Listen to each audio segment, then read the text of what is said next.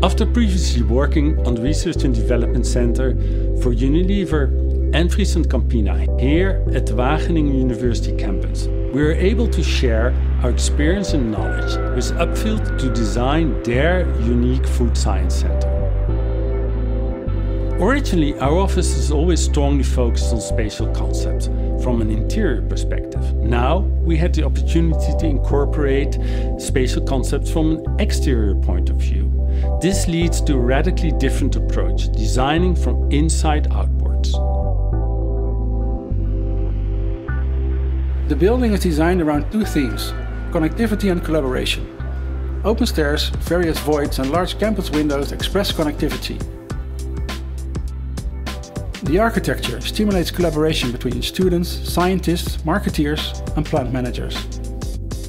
And of course, we design nature inclusive, not only inside out, but also outside in.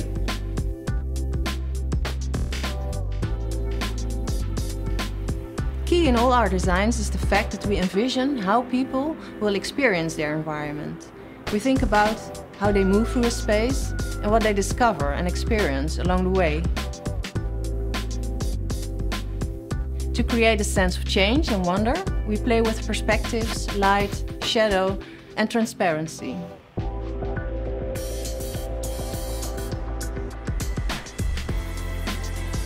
The design for the plant-based company Upfield expresses how sustainability and innovation in the end can lead to real future-proof building.